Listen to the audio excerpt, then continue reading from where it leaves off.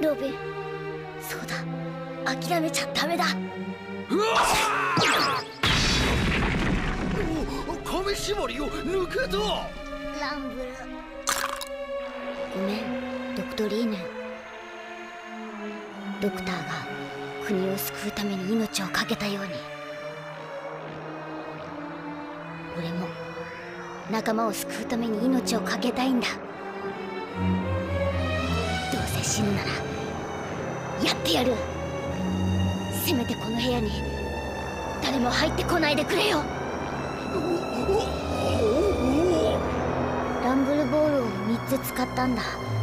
そしたら俺は意識を失ってその先は悪魔の実の暴走とも言えるね。その領域には二度と踏み込むんじゃないよ。敵の味方も己の体も滅ぼしちまう過剰な力。あれじゃまるで本物の。